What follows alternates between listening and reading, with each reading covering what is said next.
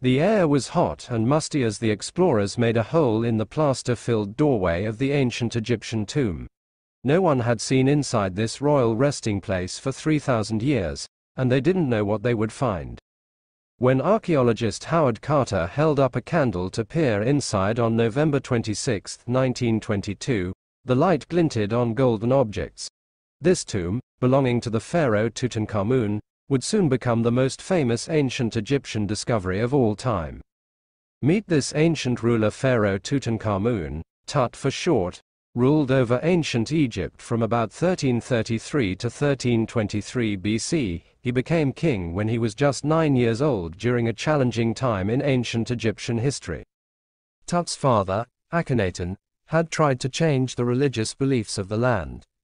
He wanted Egyptians to worship just one god, the sun, called Aten, instead of the 2,000 gods that people had believed in for thousands of years.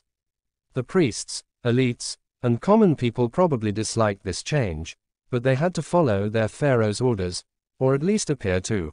Archaeologists have found small statues of the old gods in people's houses from around this time. After Akhenaten died, nine year old Tut took the throne.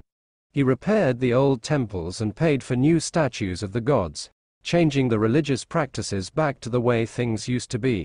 He even changed his name.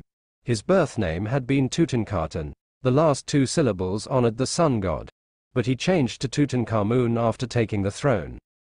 As king, Tut would have participated in religious ceremonies and festivals, gone on hunting trips, learned how to ride horses and drive chariots, and trained in military skills. But Tut didn't have a lot of time to rule, he died around age 19. Experts aren't sure if his death was caused by an injury from a chariot crash, a mosquito borne illness, a bone disease, or some combination of these. Whatever the reason, Tut didn't leave behind any children, so the throne went to his advisor Ay.